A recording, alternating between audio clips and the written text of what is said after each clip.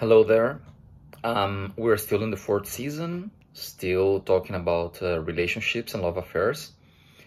And this video is going to be not necessarily about relationships and um, how they work and the types of relationships and so on, but something that has been affecting relationships in the last decade, but it has started way, way long ago. And what has been affecting relationships in the recent times is mostly the fact that the genders are being presented as enemies, as contraries, as irreconcilable contradictions. And um, this is creating an ambience that puts people as adversaries. A man is looking at a woman nowadays as an enemy as someone who just wants to cause him harm. And the woman is looking at the man the same way from different perspectives, okay? Because each narrative adapts to a different gender. But what is being sold is that people are enemies. If you see the most recent generation, people who are like now in their early 20s or they're still teens, or maybe or uh, maybe even late 20s, these people have been following on on social media the influencers that tell them how things are and so on. And what you see in most of the cases is an infinite hatred uh, a, a, resentful feeling you know a bitter feeling towards the other uh, gender towards the the opposite sex. And um, people have been meeting dealing with each other, engaging into whatever kind of interaction they have with the feeling of this is my enemy. This person on the other side, this person in front of me, this woman that I'm dating, in the case of a woman, this man that I'm dating, or in case of um, homosexual relationships, the woman that I'm dating, whatever, um, they have been seeing each other as an adversary, as someone you needed to win in a battle or something like this and someone who is just there to take advantage of you to do you harm. And um, having a relationship for the people that have been following these these trends is seen as a weakness as something that is wrong that is not good for your life that is not going to make you prosper and um, that you should uh, invest in yourself and you should only care about yourself and becoming better. And there is this expression oh the better version of yourself. And when i see the people talking about that i see that they want money possessions social relevance and uh, a couple other things that comes as a byproduct of these things. And what i think whenever i see that is what are these people bringing to the grave from all that money, possessions, social status? Are you bringing any of that to the grave with you? I'm not sure. When you are in your late 70s, in your 80s, or maybe even your, in your 90s, is this what you want to remember from your life? Oh, I got that job that paid me very well. Oh, I got all those properties that I wanted. Oh, I amassed this amount of money. For what? What are you doing with it? Oh, I'm living a happy life. I'm living a stable life. Mm-hmm. And what are you doing with it? You still didn't answer my question. And you still didn't answer my question because you're not doing anything with it. You are just accumulating and trying to raise in the social hierarchy, but just for the sake of it. And I remember when I did a um, finances course many many years ago. I wanted to invest money. I wanted to to think of my future, and I remember that the guy that was giving us the the course, he's a very rich guy. He opened a bank, a private bank, and um, he was asking people, "Why do you want to make money? Why are you taking this course in order to become rich?" And most people, they were answering, I'm doing this because I want to have a safe life. I want to have a lot of money. I want to acquire this and that. I want to travel. I want to lead a, a, a wealthy life, a luxurious life. I want to be able to afford whatever I want. And he kept asking people, why, why, why? And I raised my hand to answer as other students were raising their, their hands to answer.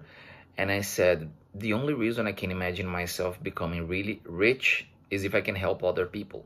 Because if I'm not going to help other people, I don't need to become rich. I just need decent amount of money to afford my bills, to, to afford the place to live and my travels and my studies because I'm very into studying. I'm very kind of nerdy. I want to learn things. I always want to, to learn something new, above all in the areas that I like. And um, when I said that, when I said that I was interested in that, the guy said, um, You are the only person who should stay in this classroom because this is the kind of people that I'm looking for to teach how to make money. And I never forgot that answer. Is a guy who had a lot of money, who was teaching a lesson for people who wanted to make money as well. And um, he could lose all those students. All those people could look at him and be like, no, I'm here to make money because I want to make money, because I want to be rich. And yet he was looking for people that wanted to make money for a purpose not for the sake of looking at the bank extract and be like oh i have a lot of money in my account. Because you need to do something with that. Same thing goes with your life. Same thing goes with your memories when you're older. Same thing goes for relationships. What do you want to do with it? Because i invest in my appearance i invest in being healthy in eating, training, um, taking care of my intellect, learning new things, and so on. And I think that all that is very important. But that's not everything in life.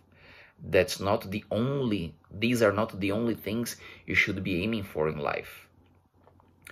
Uh, I'm not telling you you need to have a relationship. I'm not telling you to get married. I'm not married and I'm not at, in the foreseeable future planning to get married. I'm not telling you you need to have kids. I don't have kids, and as for now, I don't plan in having kids. But uh, I don't look at women and hate them. I don't look at women and think they just want my money. They want to ruin my life. They want to do to cause me harm. They want to do this and that. And if I have a relationship, I'm a weak if I have a relationship, I'm not really investing in myself and becoming the best version of myself. I mean, I don't need to spit the things that I have conquered in intellectual terms, in, in sports, in, in my personal life, and so on. But I've accomplished a couple stuff, uh, a, a couple things. And um, I don't think that those things exclude the fact that I can meet someone be interested in this person, potentially fall in love, have a relationship, and so on.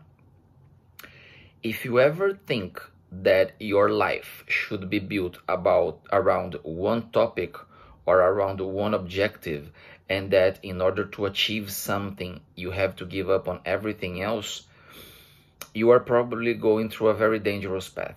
I'm not going to tell you you are wrong. I'm not going to tell you you are not going to make it or anything like that. But you are giving up on living so many things in your life because you believe in order to accomplish what I want, I cannot leave those things. I remember, for example, by the time I started the um, university, that I had a conversation with a friend, and she said, I don't have time for anything in my life. And I was like, wow, what have you been up to? I mean, what are you doing? And she said, I started um, university. She was studying communication, I think, and publicity. And I've started to learn English. And I was like, and you have no time for anything in your life. And she said, no. And I thought to myself, I have two university degrees that I did at the same time, parallel, one to, to, to another. I studied, I don't know, two or three languages at the same time I was at the university. I worked. I worked out. I did martial arts and I had some time to date, meet friends, and do other stuff. You know why? Because I was organized. I was very disciplined and I managed to build my schedule around all my interests. doing everything that I liked. I never tried to give up on anything. And still, I could sleep, I could eat, I could lead a healthy life. Because you might think, oh, you were not sleeping, you were not eating. No, I was sleeping, I was eating, and I was leading a healthy life. But I tried to really, really, really arrange my schedule in a way in which I could maximize the possibilities, in which I could do more than, than what people thought was possible.